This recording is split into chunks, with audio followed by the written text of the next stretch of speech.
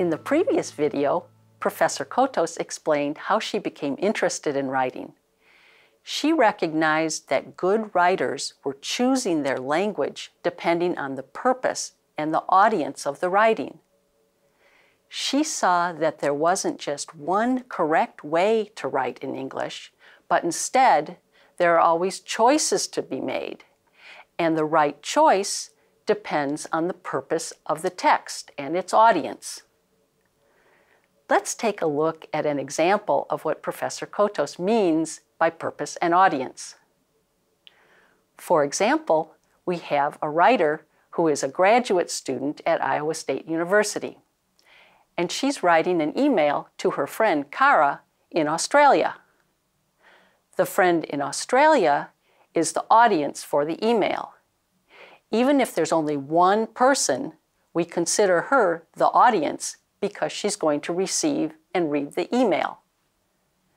The Iowa State student chooses the right language for her friend to read. The purpose of the email is to apologize for not sending an email for a long time. She chooses this language. My research has really kept me busy over the past semester. And this, she thinks, is a good way of beginning her apology to her friend. In English, an apology is pretty good when it includes a reason, so that works. Now, let's change the audience and purpose to one that is very important for graduate students. What if the audience is professionals in the field and the purpose is introducing a research article that the student has written? The graduate student wrote a research article to submit to a professional publication. Okay, so the writer is the same graduate student. She is again writing about her research, but the purpose and the audience are different.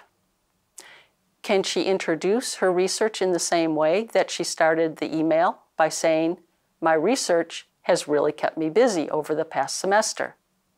Is that a good way to start a research article? No, she wouldn't be very successful if she started her research article like that. When the audience is professionals in the field, that's a large audience of people that the writer doesn't know. Plus, when the purpose is to introduce a research article, she needs to write about the research, not about her busy life. But what should the language choice be in this context? Let's take a look at the language successful researchers use to begin their research article. This is an article about incidental vocabulary learning in the journal Language Learning and Technology. Let's see how the authors started their research article. The authors began the article with these sentences.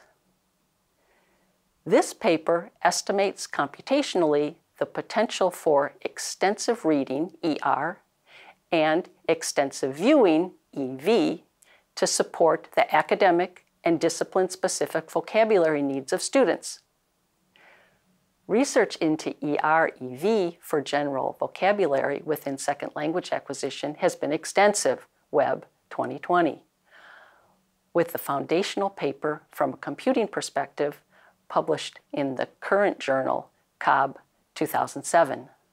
However, research into EVER to support academic and disciplinary vocabulary has only recently emerged. So, their opening statement for their research article is very different from what our writer wrote to her friend in Australia. This is the kind of language that works for the introduction of a research article. It begins by introducing the larger field of research then the authors indicate that there has been some work done in this area to set the stage for what comes next.